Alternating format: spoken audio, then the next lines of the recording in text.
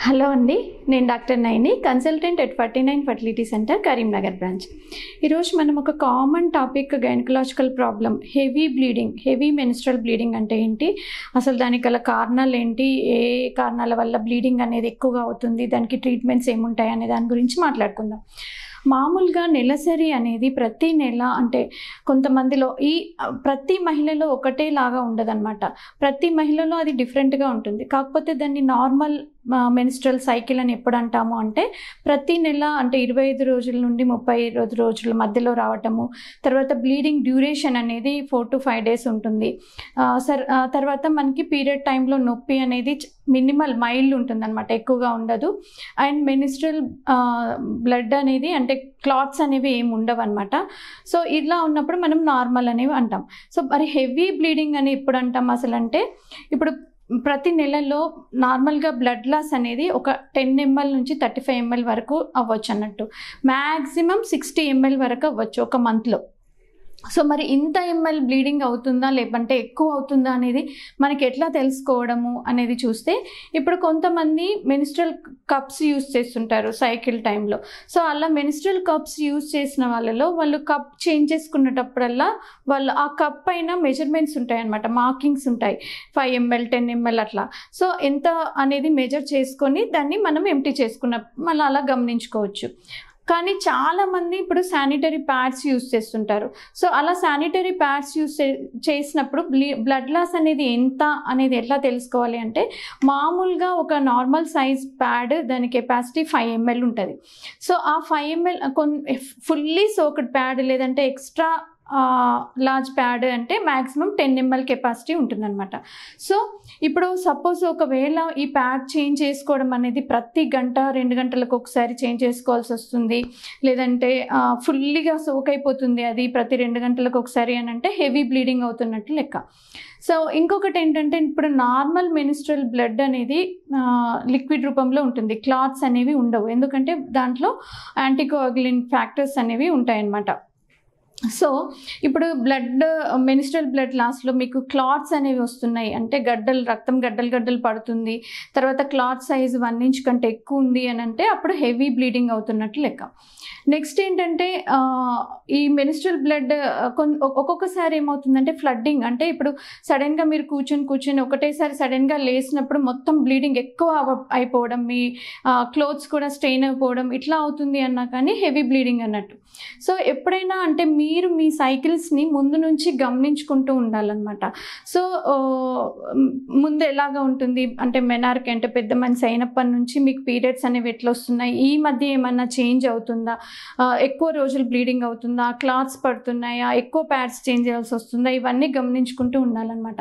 చాలామంది వాళ్ళకి ఎక్కువ బ్లీడింగ్ అయినా కానీ అది నార్మల్గానే తీసుకుంటారు. వాళ్ళకి అర్థం అవ్వదు అనమాట ఒక్కొక్కసారి పేషెంట్స్ మా దగ్గరికి సివియర్ అంటే జనరల్ చెకప్కి వచ్చినప్పుడు హిమోగ్లోబిన్ అనేది ఫోర్ గ్రామ్స్ ఫైవ్ గ్రామ్స్ ఉంటుంది. ఎందుకు ఇంత తక్కువగా ఉంది అని వాళ్ళని క్వశ్చన్ చేసినప్పుడు అప్పుడు చెప్తుంటారు అనమాట బ్లీడింగ్ ఎక్కువ అవుతుంది ఇన్ని ప్యాడ్స్ చేంజ్ చేస్తాం. కానీ వాళ్ళు ఏంటంటే దాన్ని నార్మల్గానే తీసుకుంటారు.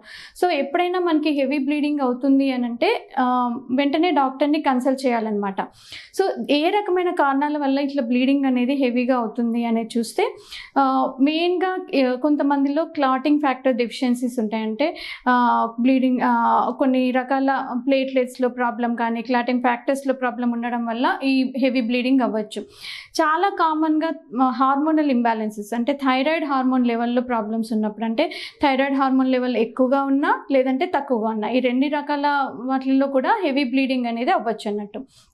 నెక్స్ట్ అన్నిటికంటే ఇంపార్టెంట్ ఏంటి అంటే యూట్రైన్కి సంబంధించిన కాజెస్ అంటే గర్భసంచికి సంబంధించిన కారణాలు అనమాట సో గర్భసంచిలో గడ్డలు ఉండడం అంటే ఫైబ్రాయిడ్స్ అంటారు. సో గర్భసంచిలో గడ్డ గడ్డలు ఉండడము అంటే గర్భసంచి మధ్య భాగంలో ఈ మజిల్ లేయర్లో గడ్డలు అనేవి ఏర్పడతాయి కొంతమందికి. లేదంటే కొంతమందిలో ఈ గర్భసంచి వాప్ అనేది ఉంటుంది అంటే ఎడినోమయోసిస్ అన్న కండిషన్ అంటారు. ఇంకొంతమందిలో ఈ లోపల లేయర్ అయితే ప్రతి నెల ఏదైతే ఎండోమెట్రియం బ్లీడింగ్ రూపంలో బయటికి వస్తుంది వస్తుందో ఆ లేయర్లో ఒక్కొక్కసారి గడ్డలు ఉండడము లేదంటే ఆ లేయర్లో పాలిప్స్ అంటే ఒక టిష్యూ ఓవర్ గ్రోత్ లాంటిగా ఉండడము. ఒక్కొక్కసారి కొంతమందిలో ఆ లేయర్ మందం అయిపోవడం హైపర్ ప్లేజియా అంటారు థిక్ ఎండోమెట్రియం అంటారు. సో అలాంటివి ఏమన్నా ఉన్నప్పుడు వాళ్ళలో ఈ ఎక్కువ బ్లీడింగ్ అనేది అధిక రక్తస్రావం అనేది అవ్వచ్చు అన్నట్టు. సో మరి ఏ ఏ రకమైన టెస్టుల ద్వారా వీటిని తెలుసుకోవచ్చు అని అంటే మీరు డాక్టర్ దగ్గరికి వెళ్ళినప్పుడు మీకు కొన్ని బ్లడ్ టెస్ట్లు సజెస్ట్ చేస్తారు. అంటే మీ హిమోగ్లోబిన్ లెవెల్స్ ఎట్లా ఉంది clotting factor deficiencies bleeding time clotting time ఎట్లా ఉంది అనేది చూస్తారు. దీంతో పాటుగా థైరాయిడ్ హార్మోన్ లెవెల్స్ చెక్ చేయడం జరుగుతుంది.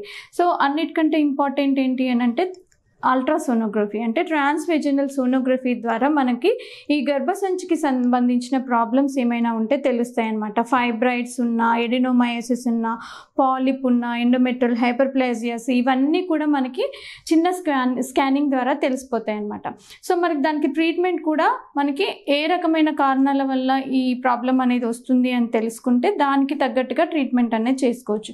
కానీ ఒక టెన్ టు ఫిఫ్టీన్ పర్సెంట్ వాళ్ళలో ఏ రకమైన కారణము దొరకకపోవచ్చు అనమాట అంటే గర్భసంచిలో ప్రాబ్లం ఉండకపోవచ్చు హార్మోన్స్ నార్మలే ఉండొచ్చు కానీ బ్లీడింగ్ హెవీగా ఉండొచ్చు.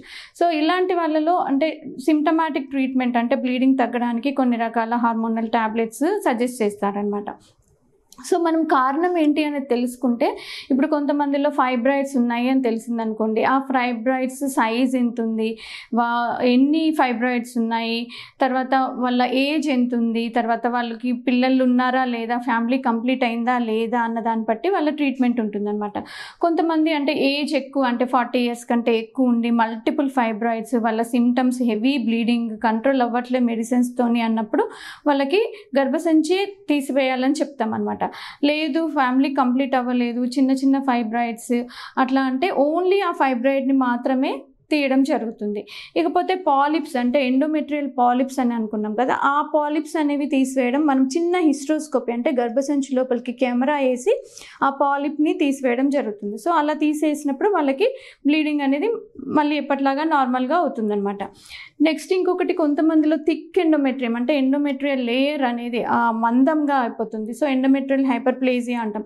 సో అలా ఉన్నప్పుడు వాళ్ళలో ఎండోమెట్రియల్ బయాప్సీ చేయించుకోవాలని చెప్తామన్నమాట. సో అలా చెప్పినప్పుడు చాలామంది బయాప్సీ అనగానే క్యాన్సర్ ఏమైనా ఉందేమో అని చెప్పి భయపడుతుంటారు. సో అలా భయపడాల్సిన అవసరం లేదు. చాలా మటుకు ఇది బినైన్ రీజన్సే ఉండొచ్చు. కానీ మీరు అలా దాన్ని ట్రీట్మెంట్ చేయకుండా ప్రొలాంగ్గా అట్లనే ఉన్నారనుకోండి అది కొన్ని సంవత్సరాల తర్వాత క్యాన్సర్గా మారే అవకాశం ఉంటుందన్నమాట. సో ఇలా ఎండోమెట్రియల్ హైపర్ప్లేజియాస్ ఉంటే బయాప్సీ చేయించుకొని ఆ రిపోర్ట్ ప్రకారం అది మనకి క్యాన్సర్ ఏమీ లేదు అన్నప్పుడు కొన్ని రకాల మెడికేషన్స్ హార్మోనల్ ట్యాబ్లెట్స్ లేకపోతే మెరీనా ఇలా ఇలాంటి వాటి వల్ల వాటిని ట్రీట్మెంట్ చేయడం జరుగుతుందన్నమాట. సో మీరు హెవీ బ్లీడింగ్ అవుతుంది అని చెప్పిన అని మీకు అనిపించినప్పుడు వెంటనే దాన్ని నెగ్లెక్ట్ చేయకుండా డాక్టర్ని కన్సల్ట్ చేసి ఏ కారణం వల్ల బ్లీడింగ్ అధికంగా అవుతుంది అనేది తెలుసుకొని దానికి తగ్గట్టుగా ట్రీట్మెంట్ చేయించుకోవడం మంచిదన్నమాట. Thank you.